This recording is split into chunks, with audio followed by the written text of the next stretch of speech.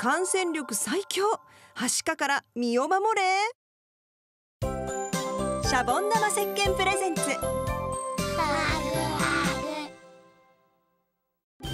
一家9人の大家族。小さい兄弟のお世話はしっかり者のお兄ちゃんお姉ちゃんが頑張ります。今回パパからこんな質問をいただきました。はしかの感染力は他の感染症に比べて非常に強いと聞きました。どんな病気なんですか？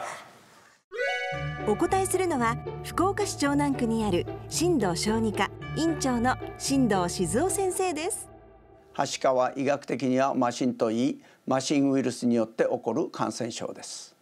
感染力は極めて強くインフルエンザのおよそ10倍で免疫を持ってない人がかかるとほぼ100%発症します。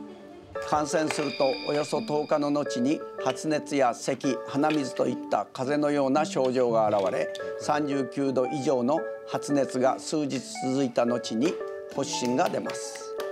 肺炎や中耳炎まれに脳炎や失明などの合併症を起こし死に至ることもあります。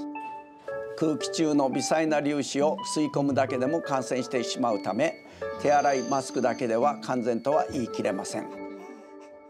どうやって予防すればいいですか？ワクチン接種が最も有効です。